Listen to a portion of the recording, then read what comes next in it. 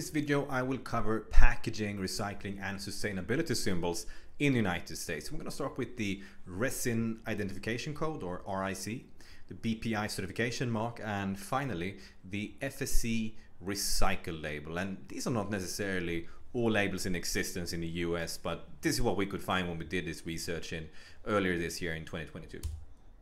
So let's begin with the resin identification code. And It essentially consists of a Mobius loop combined with a, a code that in turn identifies the, the type of resin or the type of plastic. Could be could be PP, could be HEP, PET, etc. And okay, don't take a screenshot right now because this is just a stock photo. I'm not sure if these codes are accurate or up to date. I think you actually have to buy these. I think it's one of those ASTM standards. In any case, the, the RIC it identifies the plastic type. That's the point. And in turn, that is helpful to say the least, uh, crucial uh, when it comes to sorting and recycling uh, waste plastics. Okay, so as I showed on the previous slide, um, you have different different codes depending on on the type of plastic, like one for PET, two for HDPE.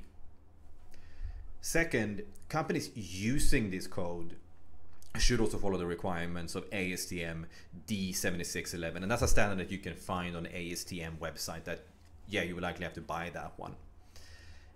Finally, something very important. You can't use the RIC to imply that your packaging can be recycled.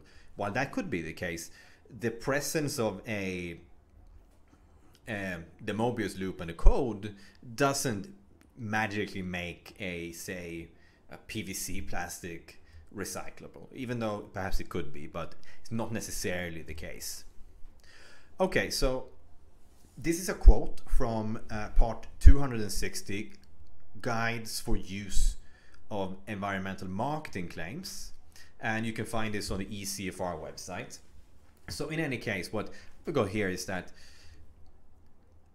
some company selling yogurt used the resin identification code, apparently, and they use it in a well it says here right it, it, on, on the front label of the container close to the proximity of the the product name and the logo. And and they for some they, they then um, believe that this was sort of implying that oh look at us where yeah this is this is um, uh, environmentally friendly packaging or something. And clearly they don't like that. Um, I recommend that you go to the EC, ECFR website and, and read this example for yourself because you also find a number of other examples. Essentially, it comes down to, well, they don't like greenwashing. I guess nobody does. So yeah, you have to be careful um, when, when using this symbol. Then we have the Biodegradable Products Institute certification mark or the BPI mark. So the BPI certification scheme allows manufacturers and brand owners to, to verify that the, the material in question is compostable and biodegradable. So it goes beyond just uh, attaching a, a logo, or sorry, attaching a, a identifier. Now, the scheme requires that the material is compliant with certain standards, and you've got different standards depending on uh, the type of material. I'll get to that on the next page. And then you must also, well, the material must then undergo a certification procedure. So BPI must actually verify that the material in question is actually uh, compostable and biodegradable. That's the whole point. So you can't just decide that for yourself. Now, in order to to to be well to use the mark, the, the fundamental point is, of course, that the material is in fact biodegradable and compostable, and and, and in order to claim that, you need to make sure that it is compliant with certain standards, which I believe that testing is part of the certification procedure. I would be surprised if that was not the case. And as you can see here, there are different test methods, say uh, ASTM D5338. Then we have an ISO standard here for uh, for plastics, disintegration of plastics to be specific.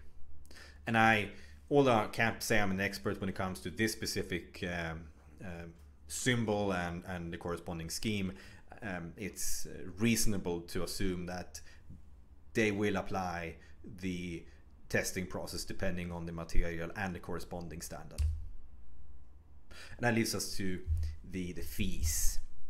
As is always the case with well, not always, but oftentimes the case when it comes to recyclability or biodegradability uh, symbols, there's a certification process which, of course, must be financed by someone, and that's the brand that wants to use it. So, at the time that we did this research, which was earlier in, in, in 2022, the fee was, as you can see here, 1500 US, and that's for first time applicants. And then there's also a renewal. I can't comment on the conditions for that renewal, but I imagine that it's likely anyway that you have to go through this procedure again at a reduced fee of a thousand US. Okay, finally we have the FSC recycle label. So unlike the previous, which concerns uh, compostability and, and also identifying the material, the recycle label indicates that the, the packaging material, such as this box, has been made from recycled material in full or in part. So for starters, the FSC FSC stands for the uh, I think it's the Forest Stewardship Council, and it's it's as far as I know, it's not a U.S. organization, and this is something you find worldwide. I saw this symbol on this drink container on McDonald's here in Hong Kong, for example. So it's, present worldwide. I think it's same European country. I could be wrong. In any case, they have more than one uh, compliance symbol, but in this video, it's specifically about uh, recyclability of packaging and so on, sustainability. So this is the only one I will cover. Now, as mentioned, the FSC recycle label implies that the product is made from 100% recycled content. And there is also the alternative, which is the mixed label, that um, states that the the packaging is made from a mix of new materials and recycled materials. Got these two different types. Now, again, it comes down to a, a certification scheme, um, which is quite extensive. The way that FSC operates is that they go all the way to the source, to the plantation, okay? Or in this case, I believe it will be the recycling plant. And then every step, well, every link in the supply chain, meaning every company that's involved from the uh, the recycling plant to the the pulp uh, producer, because there still has to be a pulp producer somewhere, uh, to the packaging manufacturer, and all the way to your brand needs certification and transfer certificates between this because otherwise there's no way that this is possible to to to trace this to verify. So in short you can't simply ask your suppliers hey is this used uh, from from recycled recycled paper? And and then uh, stamp one of these symbols on and call it a day. No that's not the way it works. You have to go through this procedure. Your supply must be certified. Their supply must be certified. And you also have to pay a fee before you can use this symbol. So finally then, how do you verify that the packaging is correctly labeled? Imagine going through all this and then it turns out your suppliers are screwing it up. That's something that happened to all of us. It's absolutely instrumental that you apply one of these uh, labels to your artwork in a way that your supply just can't fail. What you do is you go into Adobe Illustrator, you drag and drop the, the resin identification code or the FSC symbol if that's what you're using, assuming you have the permission, right?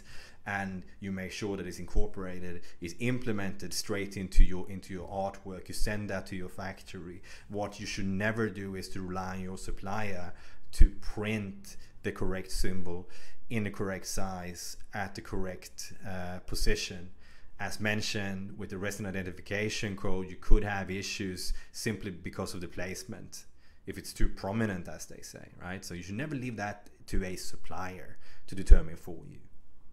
And finally, make sure that you always check the packaging artwork before shipment. That's absolutely crucial. Okay, that's everything I had to say in this video. If you have any questions, then I recommend that you write a comment either on our website or you can also do the same if you're watching this on YouTube. Thank you for watching.